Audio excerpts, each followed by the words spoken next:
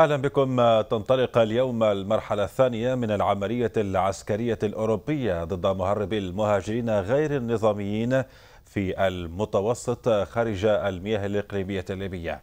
وتقضي العملية بالقيام بدوريات في أكثر من عشر مناطق محددة بدقة قبالة السواحل الليبية. تفاصيل أكثر نتابعها في التقرير التالي.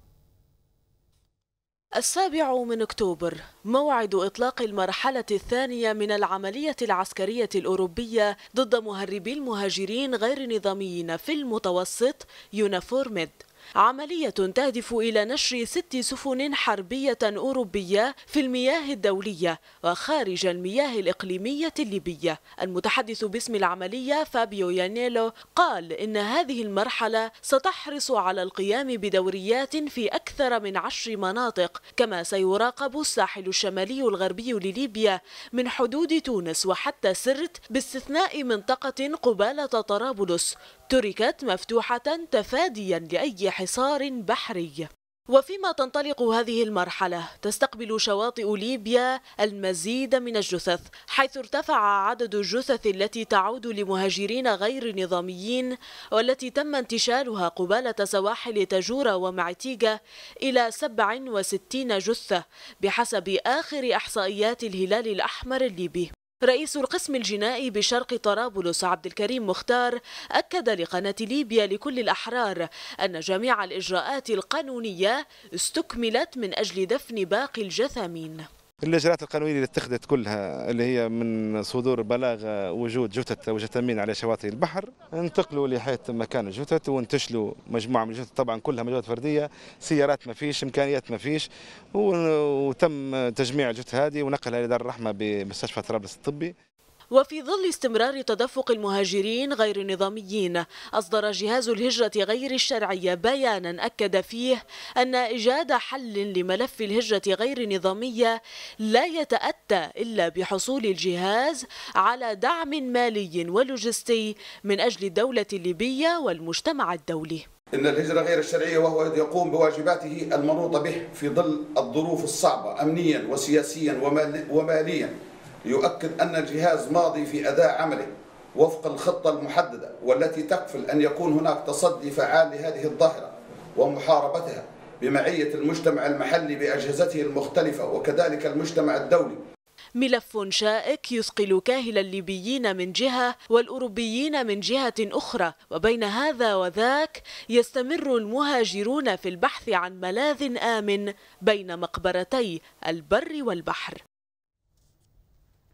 نناقش هذا الخبر وأبعاده مع ضيوفنا عبر سكايب من بروكسل الخبير في العلاقات العربية الأوروبية محمد رجاي بركات وعبر الهاتف من طرابلس الناطق باسم الهلال الأحمر الليبي محمد المصراتي. عبر الهاتف من طرابلس أيضا الناطق باسم مكتب الهجرة غير الشرعية فرع طرابلس عبد الناصر حزام. أبدأ مع السيد حزام بداية. ما موقفكم من إطلاق المرحلة الثانية من العملية العسكرية الأوروبية ضد مهربي المهاجرين غير النظاميين في المتوسط؟ العملية المسمى يونيفورم ميد. الرحيم والصلاة والسلام على رسول الله. طبعا نشكر قناة ليبيا الأحرار على إتاحة الفرصة لتوضيح توضيح مواضيع الهجرة هذه طبعا موقفنا كمياه دولية كمياه المياه الدولية هذه طبعا هذه حاجة تخص أوروبا لأن هم ينظروا بالمنظار أنهم عندهم إمكانيات أكثر منا إحنا كإمكانيات. يعني الهجرة في طرابلس أو جهاز الهجرة يفتخر بالإمكانيات هذه ولو كان في إمكانيات للبحرية والخفر السواحل وكذا كان قضاء الهجرة أكثر من كيف طيب. سيد رجائي عملية تهدف إلى نشر ست سفن حربية أوروبية على الأقل في المياه الدولية وخارج المياه الإقليمية الليبية برأيك ما الذي ستحققه هذه المرحلة من إنجاز فعلي في التخفيف من حدة الهجرة غير النظامية؟ طبعا ستقوم هذه السفن بإلقاء القبض أو بإيقاف القوارب التي تحمل المهاجرين غير الشرعيين. طبعا سيحصل ذلك بعيدا عن الشواطئ الليبية. لن يستطيعوا الدخول إلى المياه الإقليمية الليبية. وحسب ما قالوا أو ذكروا بأنه سيتم إخلاء هذه القوارب إعادة المهاجرين أو إنقاذهم. وتدمير هذه القوى مصادرتها ثم تدميرها. فبالتالي آه، مدى نجاح هذه العملية ومدى النتائج التي ستحققها سيكون مقصور على فقط آه، آه، تدمير هذه المراكب وطبعا لن تحل المشكلة الأساسية آه، بهذا الخصوص. آه، خلال آه، البرلمان الأوروبي جلسة دولة البرلمان الأوروبي أمس واليوم الرئيس الفرنسي هولاند والمستشارة الألمانية ميركل تطرقوا إلى موضوع الهجرة غير الشرعية. وطبعا كان تركيزهم كالعادة على سوريا واللاجئين القادمين عبر تركيا. لم يتم ذكر ليبيا إلا مرة واحدة عندما ذكروا بأنه بأن على الاتحاد الأوروبي ان يقدم مساعدات مالية لليبيا. آه، طبعا خلال الأسبوع الماضي آه، السيدة موغريني الناطقة بممثله الاتحاد الأوروبي للسياسة الخارجية والأمنية ذكرت أن الاتحاد الأوروبي مستعد لتقديم 100 مليون يورو، فهل ستكفي 100 مليون يورو لمساعدة ليبيا على الخروج من مشكلة اللاجئين والمهاجرين غير الشرعيين وتزويدها بالمعدات اللازمة لمكافحة الهجره غير الشرعية هذا السؤال الذي يجب طرحه. طيب سيد حزام آه، إذا ما الدور المنوط بكم اليوم إثر ارتفاع عدد جثث المهاجرين غير النظامية خاصة في آه، سواحل ميتيغا وتاجورا؟ والله استاذي الموضوع هذا يرجع إلى إلى نقص الإمكانيات. زي ما ذكر رئيس جهاز مكافحه الجرائم راخد أحمد في في في النبأ اليوم أنه هو الافتقار للأجهزة اللوجستية والأجهزة البحرية. إحنا في لقاء سابق كان زارنا وزير الداخلية في المقر هنايا وكان عندنا مقبوض حوالي في حدود 1400 مهاجر يشغلهم من جنسيات مختلفة. تم القبض عليهم تجاه التجوره ومعهم حوزات اجهزه لاسلكيه واتصالات بعيد المدى وفعلا أن إحنا زوارق الطابعه البحرية الليبية لم يتم تسليمها. كان في صيانة لإيطاليا عن طريق الحكومة التونسية ولم يتم تسليمها البحرية الليبية. هذا تقصير يعني وتم مكاتبة جهات الاختصاص عن طريق الخارجية الليبية الداخلية عن طريق الخارجية الليبية والخارجية الليبية والخارجية الإيطالية. ولكن لا من الحديث هذا. ما في ما فيش ما فيش تعاون. يعني إحنا حتى امس كانت عندنا هنا قناة إيطالية إيطاليا إيطالية رسمية دارت زيارة وشافت شافت مراكز اللواء وشافت كذا وشافت المواقع كلها يفتقروا إلى الدعم اللوجستي، الدعم اللوجستي يجب أن يدعم به الجهاز. لأن لأن في السابق كان في نقاط ساحلية وكانت النقاط مربوطة ببعضها من زوارة حتى للزاوية وللزاوية حتى لمناطق ساحلية في شرق وغرب طرابلس. وكان في متابعات. الوقت الحاضر هذا مش موجود بيزيد لأنك مش معقول. أنت ما عندكش لا عندك قوارب لا عندك مثلا زوارق لأن هي تدخل بالمراقبه على طول الساحل ولا عندك طيران عمودي. طبعا هذا نقص لابد من توفير الآلية المحددة. يعني حتى كان في اجتماعات من يوم فاتوا بوزاره في في في في السلاح في السلاح البحرية ويناقشوا في المواضيع دي الموضوع اللوجستي هو الاساس يعني طيب. لو كان في موضوع طيب سيد حزام إمكانيات وفي وفي متابعة نعم. وصلت الفكرة في هذه النقطة سيد حزام ولكن هل هل يتوفر لديكم سيد حزام حصيلة أخيرة أو حتى أسبوعية لربما لعدد جثث المهاجرين غير النظامية التي وصلت إلى سواحل طرابلس؟ والله ك... ما عنديش العدد بالضبط ولكن العدد زي ما سمعت انت طبعا هذا هي هي عملية الاتصالات هذه هي المشكلة. تو إحنا لو في اتصالات وفي كذا يعني كل كل نقطة ساحلية تعرف اللي شنو صاير. يعني من نقطة لنقطة تعرف شنو صاير. وتبدأ في متابعة ما بين الدوريات ولكن ما فيش الدعم نعم. حتى اجهزه الاتصالات ما فيش. الغرف تخدم بحاجات شخصية وبما بمجهود شخصي. الحقيقة نعم. يعني نعم. الأمور كلها مش موجودة. نعم. سيد رجائي بحسب وكالة الصحافة الفرنسية فإن يونيفورميد تفتقر إلى عناصر قريبة من الشبكات. إلى أي مدى يمثل هذا الأمر عقبة في طريق الحد من تدفق المهاجرين؟ طبعا من أجل إيقاف المراكب يجب أن يكون تكون القوات البريطانية والفرنسية المشاركة في العملية والألمانية السفن البحرية على علم برغبة هؤلاء الأشخاص بتوجههم ركوبهم البحر وقدومهم إلى دول الاتحاد الأوروبي.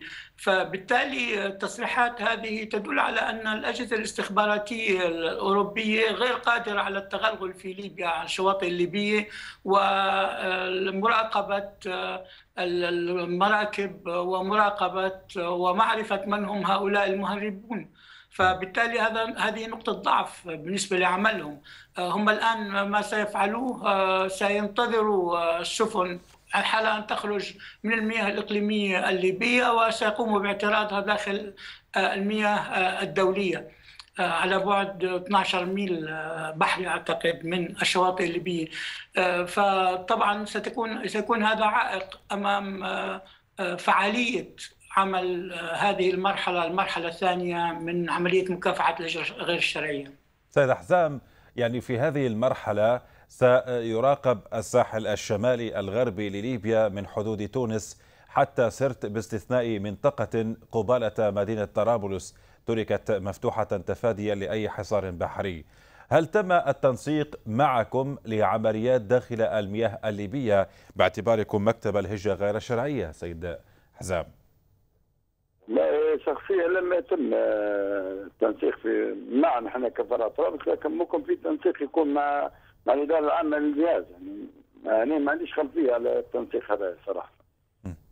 طيب يعني ماذا عن هذا الحصار الذي أو هذه المراقبة التي ستتم هل ترى أنها لربما ستأتي بنوع من النفع لمراقبة المهاجرين؟ والله أستاذي بالنسبة للمنطقة اللي أنت تحكي عليها على امتداد مدينة طرابلس أو زي ما تحكي أنت المسافة اللي تحكي عليها دي هذه فيك تقول مش مراقبة 100% ولا فيك تقول 20 30% في مراقبة في متابعة للسواحل يعني المقبوض عليهم في الفترات السابقة هذه ما تمتش في في في جهه في جهه زوارة أو في جهه كذا كلها تمت في جهه طرابلس من لي حتى لا تجوره جهة الزاويه في الجهات هذه. يعني ما ما كانش في في أمور يعني من من جهة جهة الشرق أو جهة الغرب من بتات. يعني كلها في جهة منطقة طرابلس وتمت فيها يعني فيها في في أماكن تم مداهمتها قبل العبور للبحر. في بحكم التحقيقات أو بحكم القبض على افراد من الهجرة أو ناس هي تاجر البشر في أماكن تم مداهمتها قبل الشروع والركوب في البحر يعني. طيب سيد رجائي يعني هذه المراقبة تأتي باستثناء منطقة قبالة مدينة طرابلس تركت مفتوحة تفاديا لأي حصار بحري لماذا يؤخذ هذا الاستثناء؟ طبعا حسب ما فهمت أن الكثير من المراكب التي تغادر الشواطئ الليبية تغادر عن طريق هذا الشاطئ مقابل طرابلس. فقد يكون هذا الاستثناء من أجل التمكن من إيقاف هؤلاء المهربين لأنه إذا كان تم إغلاق الحدود بشكل تام أو الشواطئ بشكل تام فلن يتمكن لن تتمكن القوات البحرية الأوروبية من إيقافهم ومصادرة المراكب وتدميرها. فقد يكون هذا السبب الحقيقي. ولكن أيضا فيما لو تم فرض حصار على كافة الشواطئ الليبية قد يؤدي ذلك إلى ضرر بالنسبة لليبيا لا يوجد هناك أي معبر أو مخرج بحري ليبي بإمكان السفن الليبية والقوارب الليبية العبور منه للتوجه إلى البحر المتوسط. طيب طيب ما رأيك في من يقول بأن المرحلة الثانية هي تمهيد للمرحلة الثالثة وهي الدخول في المياه الليبية يعني قيام بعمليات داخل المياه الليبية؟ يعني هل توافق هذا الطرح؟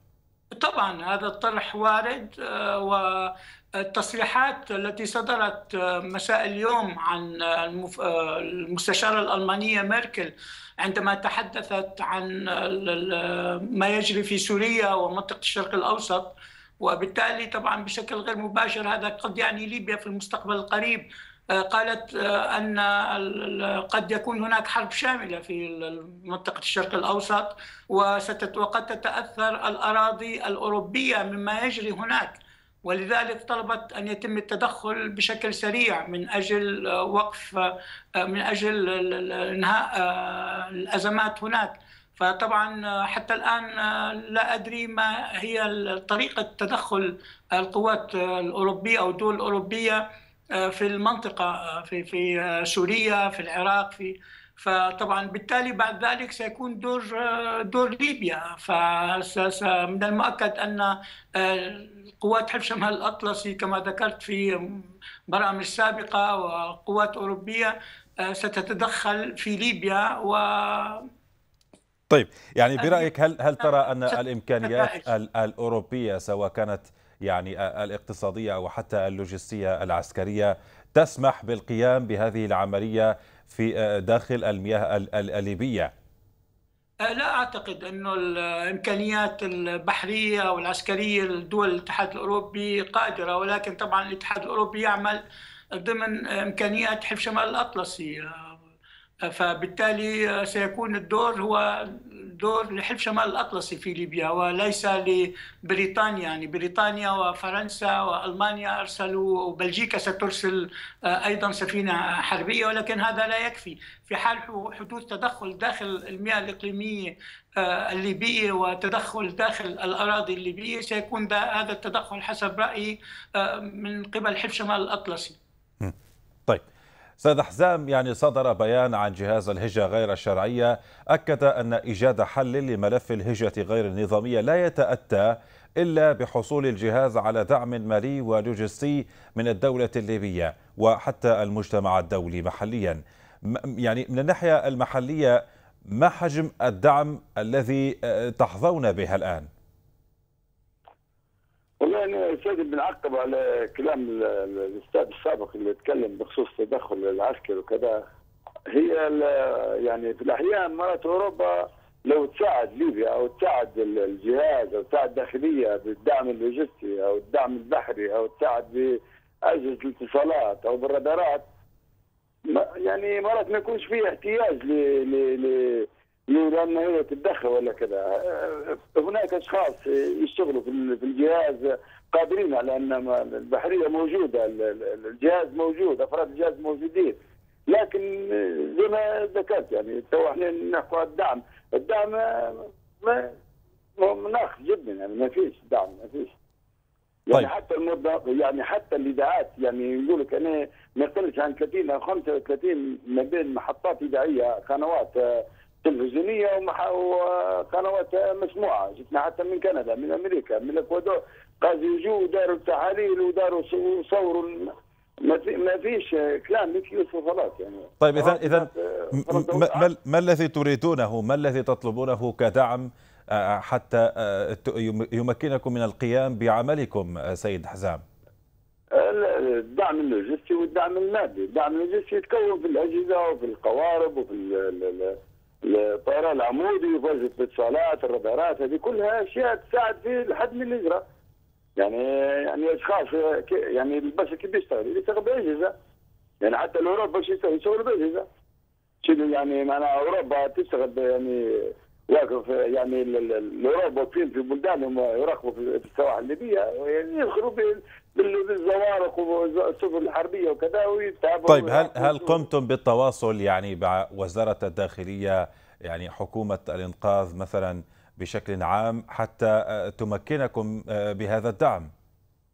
والله حكومة الإنقاذ عندها علم بعملنا والجهاز عنده علم بعملنا ومعروف يعني معروف إحنا شنو يعني شنو نواقص نطلب فمعروفة مش مخفية وما عند احد كل الإدارة كل مؤسسات الدولة سواء وزارة الداخلية وكذا كل من بعلم طيب سيد رجائي عملية تحت اسم صوفيا هل إطلاقها يعني بالضرورة وجود توافق داخلي في الاتحاد الأوروبي أنها ستحل أزمة الهجرة؟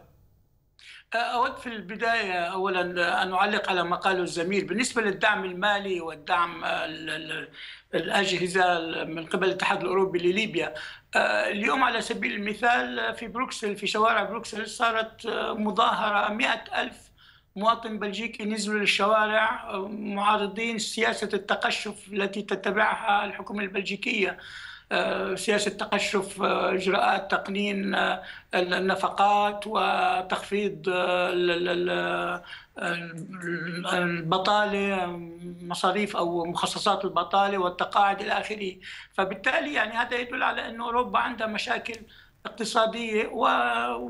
ولن يعني تقدم مساعدات كما هو مطلوب لليبيا طيب هو هو هو يعني ما يقصده بالنسبة للسيد أحزام يعني بدل القيام بهذه العمليات يعني العسكرية المكلفة ما عليها إلا أن تتواصل مع الجانب الليبي وتقوم بدعم نوع من الدعم اللوجستي حتى يقوم الجانب الليبي بهذا العمل. ما هو الموضوع المطروح بكل صراحة أي جانب ليبي يعني. حتى لو قامت دول الاتحاد الأوروبي بإعطاء أجهزة ومعدات لليبيا لمن ستعطيه؟ يعني هناك تخوف سيكون تخوف من قبل السلطات أو الجهات الأوروبية إنه في أي في أي أيادي ستقع هذه المعدات والأجهزة. وأيضا طبعا إذا كان حصل تدخل عسكري لن يكون هدفه فقط الهدف المعلن. يعني هناك أمور أخرى خفية قد تكون نعم. من بين نعم. الأهداف التي يرمي إليها أو يهدف إليها الاتحاد الأوروبي وحتى حلف شمال الأطلس. طيب التحق الآن معنا السيد المصراتي. سيد المصراتي يعني هل سيتم أو هل يتم دفن جثث المهاجرين بشكل مباشر بعد انتشارها؟ وما السواحل الأكبر حصة من جثث المهاجرين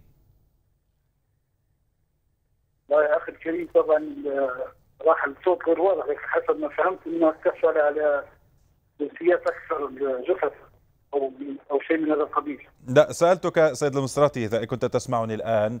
يعني ما إذا كان يتم دفن جثث المهاجرين بشكل مباشر بعد انتشالها؟ طبعا ما يقوم به الهلال الاحمر في هذا الموضوع هو من موضوع إدارة الرفات للجثث المهاجرين ويتم عملية انتشالهم وعمليه